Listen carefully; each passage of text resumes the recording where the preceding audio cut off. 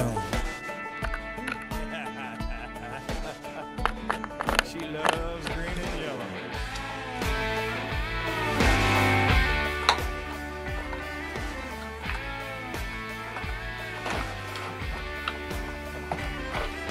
She's not the kind of girl you meet on the corner of Hollywood and Vine. But you might bump into her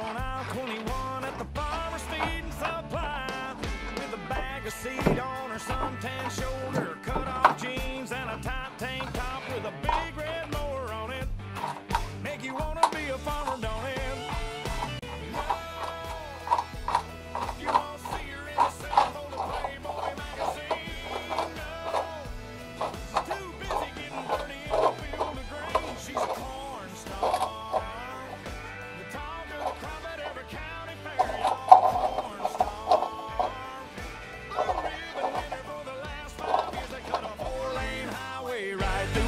Blame it on progress and moving traffic faster. But road was the.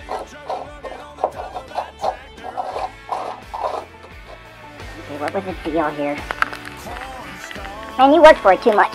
Here you go. And you would never have gotten it through this. Oh, look, you bent that over. Here you go. There's that.